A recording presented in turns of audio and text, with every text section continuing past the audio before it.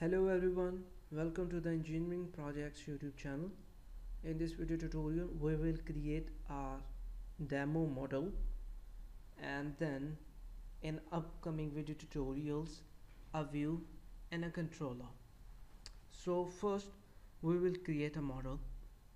Click on the model folder, then right click here and here you will observe a add. Hover it and you will get to this panel and here you have to select new item.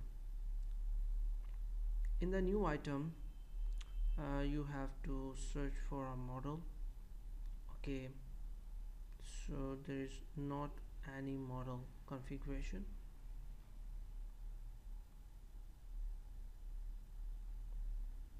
View page. Okay. I forgot to tell you that a model is a simple C sharp coding based class.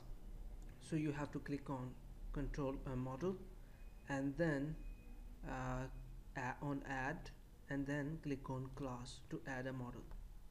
Now here I will rename uh, name as student model and hit enter. Now this is my student model class. I will create some attributes which I want to use in the front end as a form. Like uh, string name get set by this it will automatically create getter and setter for the name attribute. Replicate that.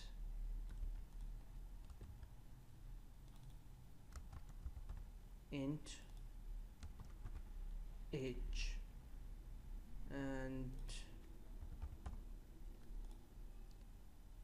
and uh, some at more attributes which you want to add in your application as you are required. Each attribute have two functions get and set. In my previous video tutorial where I have already explained what is the model you will get to know that model is just the business logic. And the logic here is that we have a form and form have some attributes which user have to fill to get registered and to perform any kind of uh, process. So in all of that we have a form. And form required some attributes and the business logic is based on those attributes. Like we have created here a name age uh, you can say email okay uh, a password.